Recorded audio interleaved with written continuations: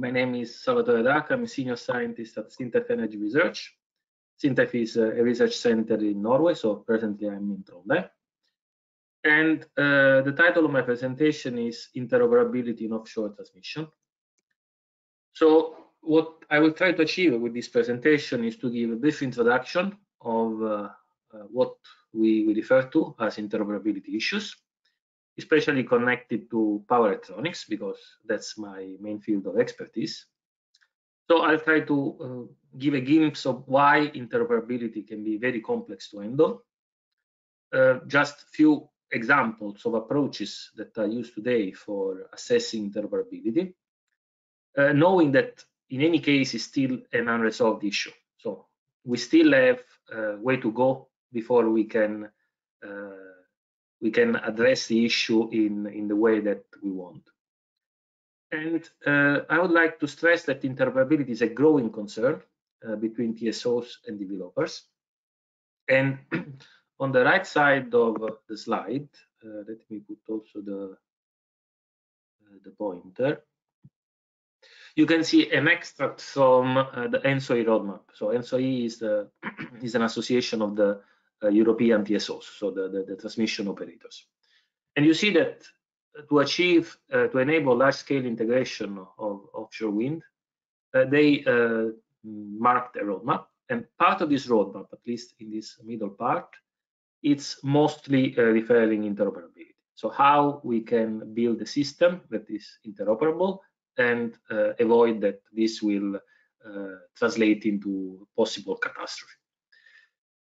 So to, to, before I go more into the issues of interoperability, I would like to give a, a very quick reminder how uh, today, for example, an offshore wind farm is structured, especially looking at the power electronics converters that are present and the other components that are in it.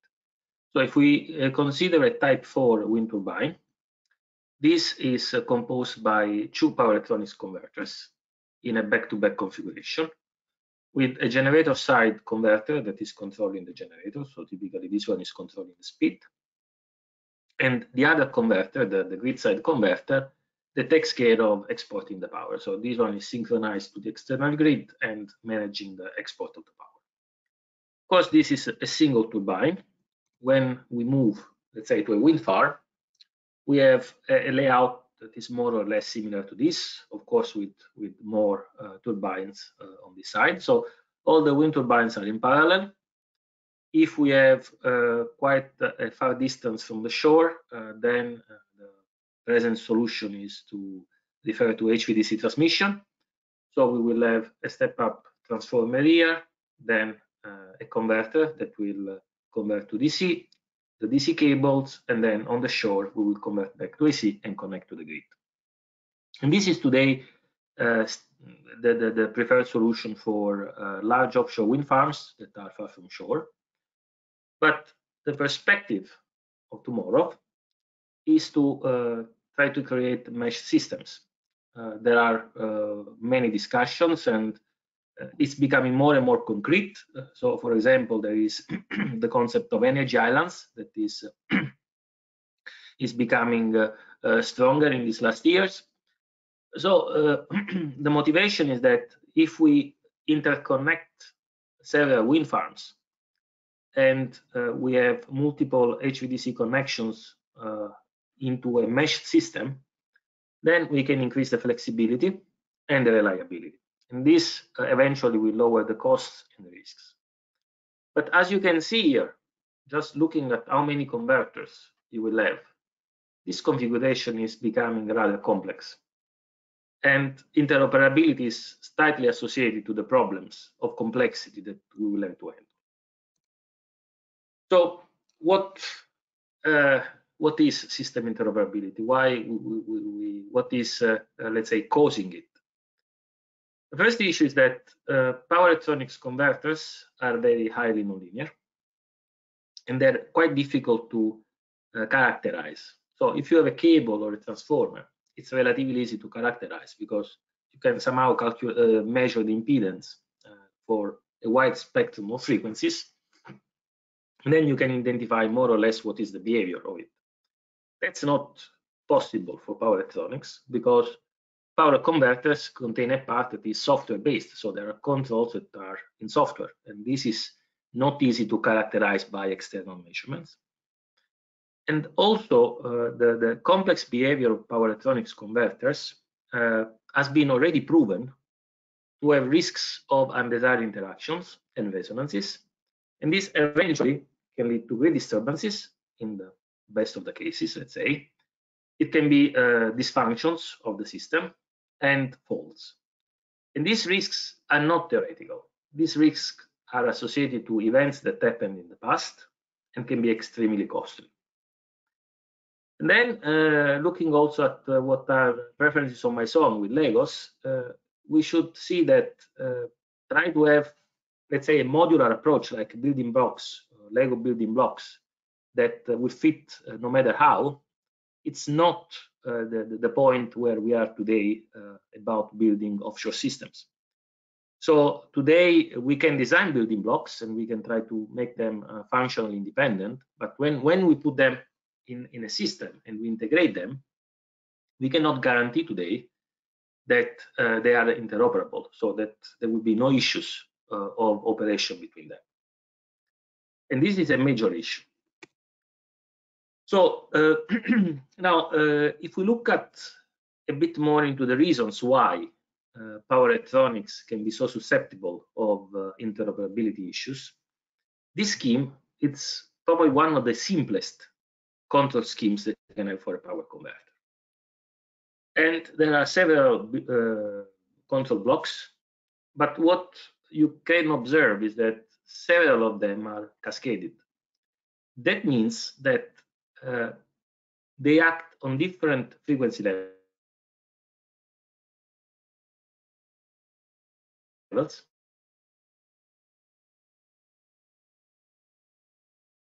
You're, we can hear you now. You hear me? Because I got a message that the audio was interrupted. Yeah, no, it's, it's back again. Now it's okay. So uh, we have some um, uh, components of the control system that act relatively at high frequencies, so we can have a few kilohertz. And then moving out in the in the control loops, we have the outer loops that act mostly on a few hertz. So you have a very wide range of frequencies that the control of the power converters is active.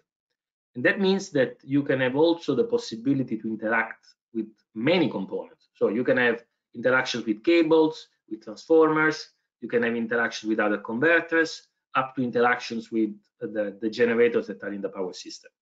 This is what makes, uh, let's say, the power electronics converter so hard to predict in this context. so what, what is basically system interoperability is how we can ensure that the system will not exhibit this kind of unexpected and undesired behaviors because so how we can prevent that the system will not work in the way that we don't want. And also how can we guarantee that the system will operate correctly in all possible conditions? This is also another strict requirement that we want to impose. Because if we have a fault in such an offshore system, this can be terribly expensive, and it happened in the past. Another big issue about interoperability is that testing components together, it doesn't uh, guarantee that like a kind of transitive relation, uh, the others will work together or all of them will work together. So we need to test on the full system and all the possible combination of cases. So how this can be addressed? Let's make first a big assumption. Let's assume that we have a perfect knowledge of the food system. So we know all the components and what is inside the components. Then in this case, uh, what we can imagine is that we construct a building model, a numerical model of the entire system, and we can then simulate it. We can we can perform a numerical simulation of it. The first issue with this is that, course, uh, the model will be extremely complicated with very high order, especially if you consider that you may have uh, hundreds of turbines. Uh, and this means high computational needs for the computer, but also there is an issue about timescales because uh, as I was uh, mentioning before, uh, the, the, converters act on very different frequencies. So we need to have a time step that is small enough to reproduce the effects of the switching. So that means possibly microsecond scale for the simulation. But we need also to be able to simulate several seconds. So this in combination makes something extremely uh, demanding from the computational point of view. But let's assume that this is also fine, that we somehow manage to have a, a very uh, a strong computational resource and we can manage the, the, the, simulations. The issue is what are the conditions that we're going to simulate? Because as I was trying to say is uh, the system is designed somehow to, to, to work and that means that uh, if, the, if the system is designed properly, the cases that will not work properly are very uh, limited. So it's a small percentage of the, of the cases, or maybe the system will always work. So we are really hunting for uh, the few cases that uh, possibly may, may happen and do not work. And this is difficult because you need to test possibly thousands of different scenarios and this resembles a lot the, the, the, the, searching a needle in a haystack. So it's it's hunting for for uh, the, the, the unlucky case in, in, in a very large number of cases that will work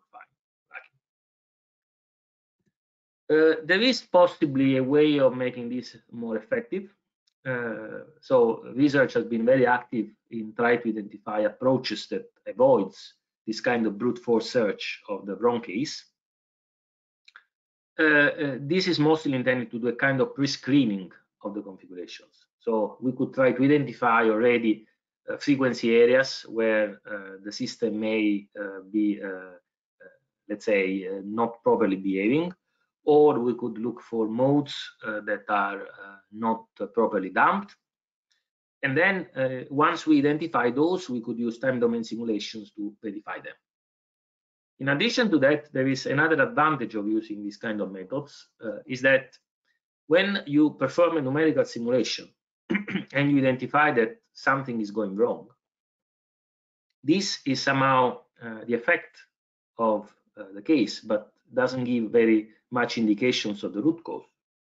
So using this kind of methods uh, will help also to identify what is the root cause, so having a step forward towards the solution. And many of these methods are based on uh, small signal analysis, so it's a linearization of the system. There are a, a, good number of methods today that are applicable. The one that we use mostly in our group is based on eigenvalues. So for example, uh, we uh, developed a framework to create a state space model for uh, a multi-terminal system or an offshore system, transmission system, uh, based on modules that we developed uh, independently and then put together. And uh, we create some kind of implementation in MATLAB to, to construct and to derive the, the, the state space model. And once you have that, you can perform a lot of analysis. One that we uh, found particularly indicative is based on participation factors.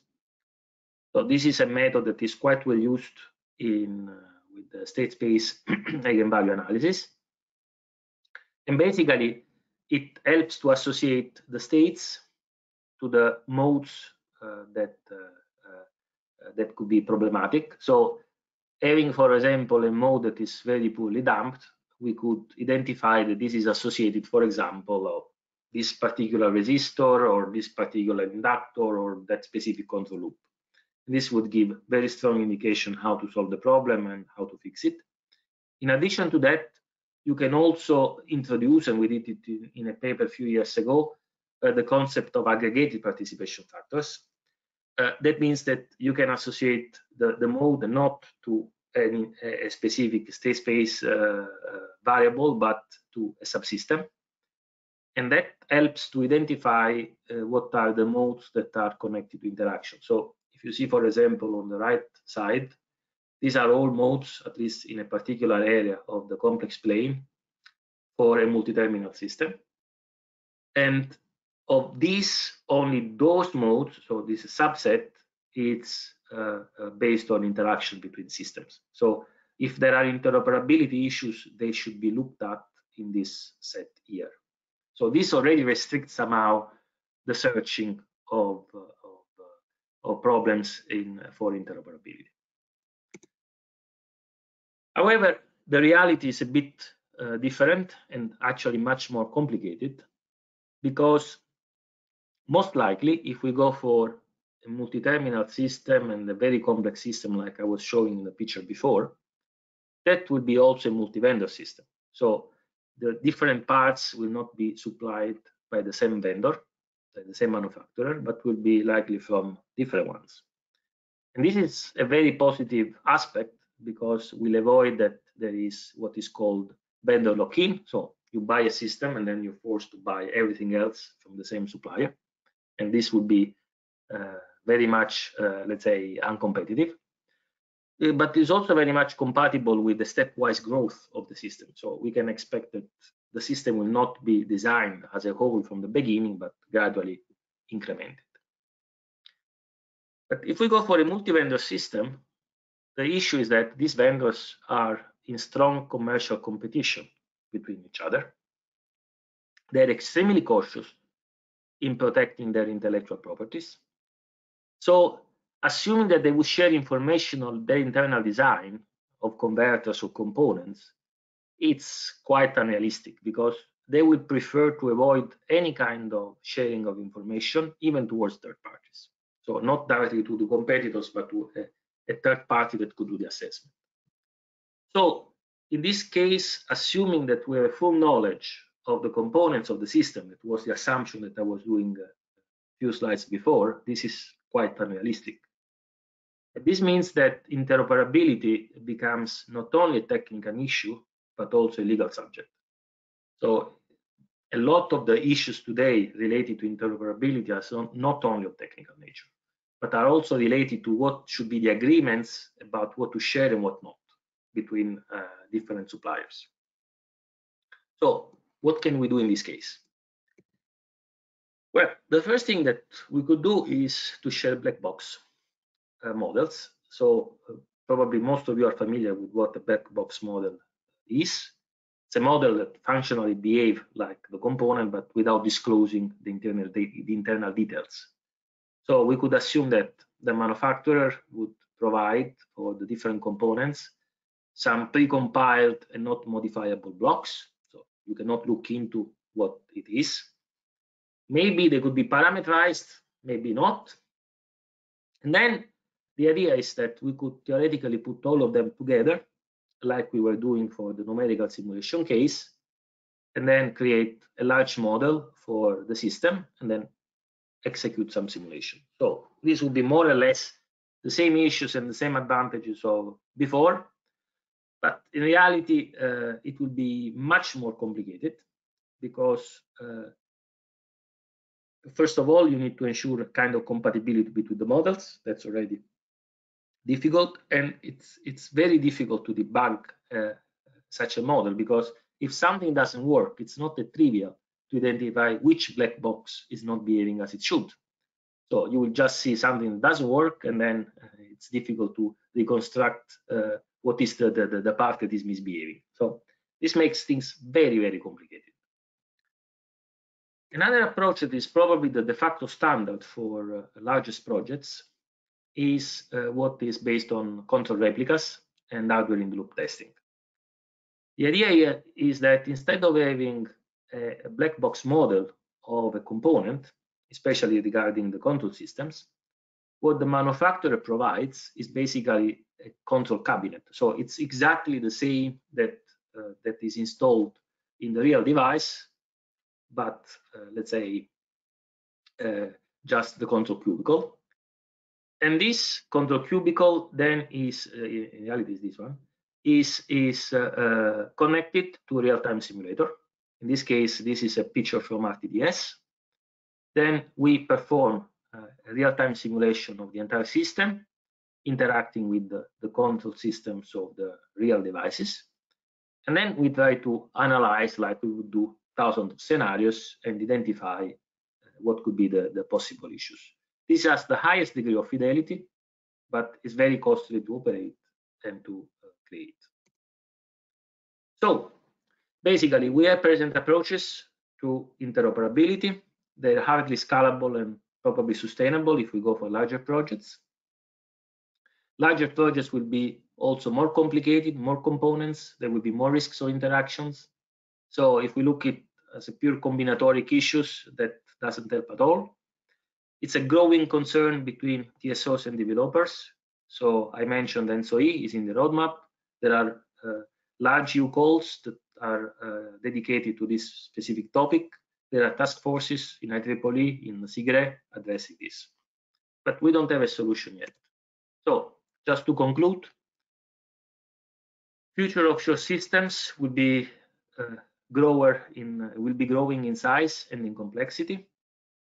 Power electronics is dominant in these power systems, and issues of interoperability have been already experienced and needs to be carefully assessed. It's a very challenging topic because of technical aspects, but also due to the confidentiality that is involved. The present methods are very difficult to scale, so they're not sustainable for the future. And this is what requires further research and also possibly a different way of working of the main actors. then I want just to refer to a project that we got a few months ago.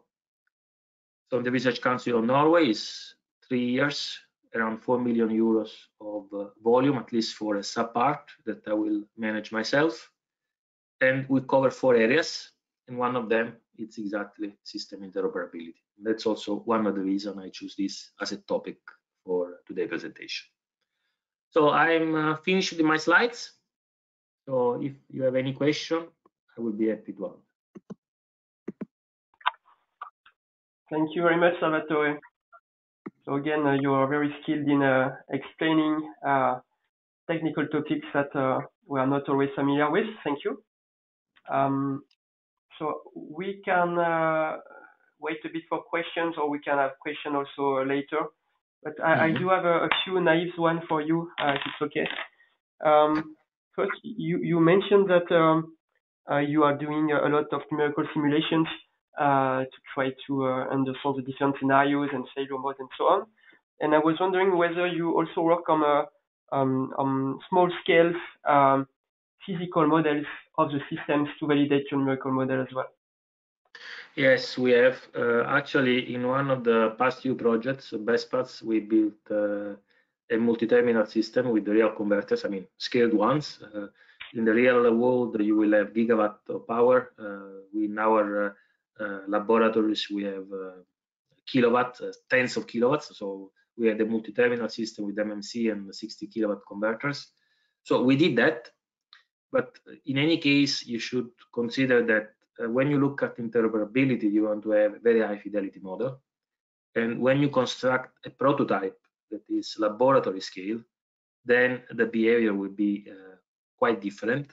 And this is unavoidable because the scaling uh, to lower power increase more losses in percentage. And that means that the damping that the system will exhibit, it's a bit higher. So just to make it very simple, uh, laboratory prototypes tends to be better than real life because they tend to dump more oscillations. It's they're more lossy. Uh, okay. But of course, that helps, and that helps to to to to uh, to experiment and to to to to get some concept at least uh, verified in small scale before you can, let's say, claim it to to be exported for the larger system. But it, it is quite a challenging issue, the, the, interoperability. So we are very far from solving it at the moment, at least in a practical and sustainable way. Okay, thank you. Um, just a, a, second one. So you mentioned that um, one solution to reduce the uncertainty in the, the grid instabilities, for instance, would be to uh, access the, uh, the black box uh, that um, uh, to reduce the, uh, the effect of uh, the vendors' systems. And do you think that um, the, the fact that with um, artificial intelligence you can do some uh, reverse engineering to deduce the transfer function could be a, a break for sharing such black box from the side? Uh, well, this has been uh, uh, has been uh, let's say considered by the manufacturers, they, they don't like it, of course, they, because they don't want uh, reverse engineering. So sometimes uh, this is a condition that is put legally that the one that gets the black box should not try to reverse engineer it. but in general, it's quite difficult from a converter to to deconstruct what is behind. it's it's it's um, you can guess more or less what is inside, uh, but uh, not exactly. And in this specific uh, field, the details are what matter because that's where most of the effort of the manufacturers goes in. So more or less, I know what should be in a converter. What I don't know is exactly what it is inside. And unfortunately, interoperability is associated a lot to these small details. So uh, it, it, it's it's uh, it's a way, uh, and and in any case, also black box model. Uh, there are some issues that sometimes they're not reproducing completely. So that's why for the very largest project, you go for the replica. But that's extremely expensive. If you consider that the control cubicle can be million of euros, so assembling a reproduction of a multi-terminal system, it's already a, a let's say a multi-million euros uh, digit installation. And then put the cost of operating it, put the cost of uh, debugging it and so on. So you can do it because it's a billion project, uh, you know, uh, endeavor. Otherwise, uh, these things are crazy expensive. Okay, okay, thank you very much, and and congrats for for your project that uh, you will be starting. Looks very exciting. Uh, if you have more information, on website and so on, I will be very uh, interested in looking into it.